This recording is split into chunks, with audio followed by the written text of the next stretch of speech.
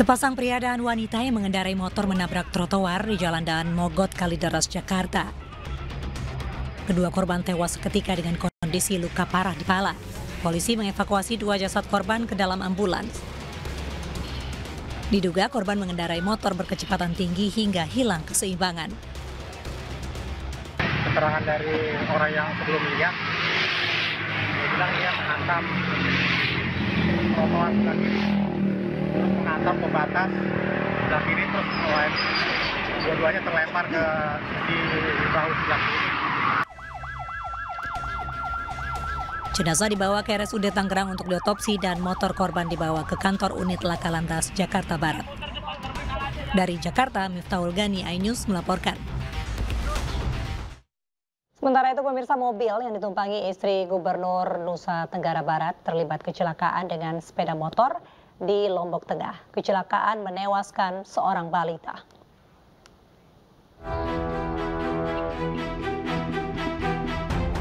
Mobil yang ditumpangi istri Gubernur Nusa Tenggara Barat, Sri Yulianti, terlibat kecelakaan di Jalan Bypass Bil Mandalika, Kabupaten Lombok Tengah.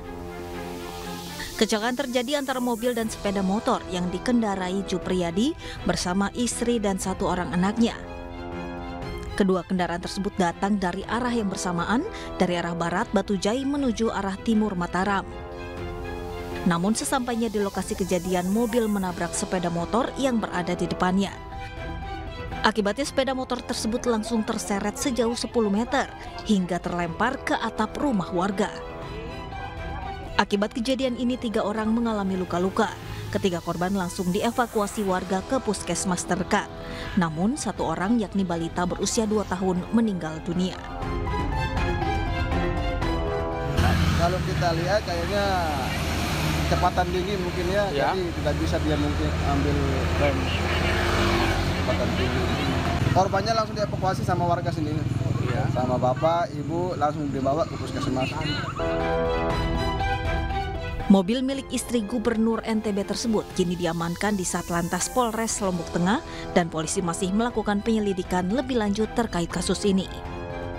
Dari Lombok Tengah, Nusa Tenggara Barat, Emma Widiawati, iNews melaporkan. Kecelakaan karambol terjadi di Bangkalan, Jawa Timur yang melibatkan tiga mobil. Akibatnya satu orang tewas di tempat kejadian dan lima lainnya menderita luka-luka.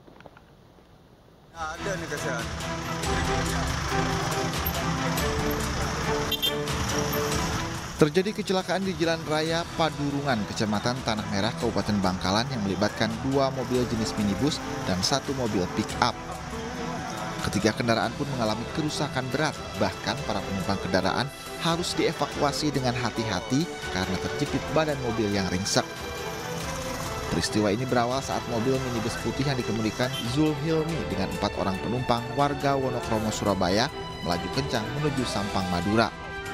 Namun saat tiba di TKP, mobil tersebut oleng lalu terguling dan masuk ke jalur kanan. Diduga pengemudi sedang mengantuk dan mengalami microslip atau tertidur sesaat. Pada waktu bersamaan, dari arah timur di jalur kanan tersebut melaju mobil pick-up yang dikendarai Mahfud, warga Galis Bangkalan sehingga benturan keras pun terjadi antara kedua kendaraan.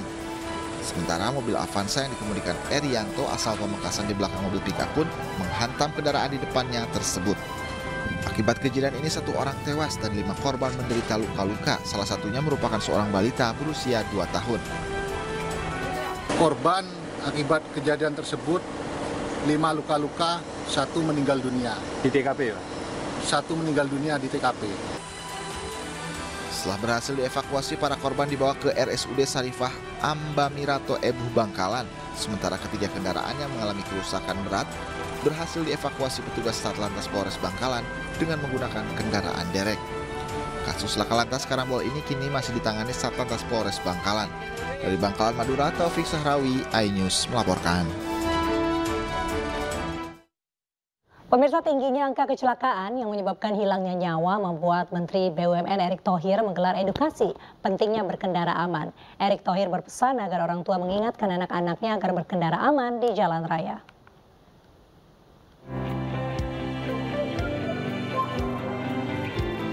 Menteri BUMN Erick Thohir bersama PT Jasara Harja dan PT Jasa Marga Persero Tbk memberikan edukasi tentang keselamatan berkendara roda 2 di Institut Teknologi 10 November, Surabaya, Jawa Timur.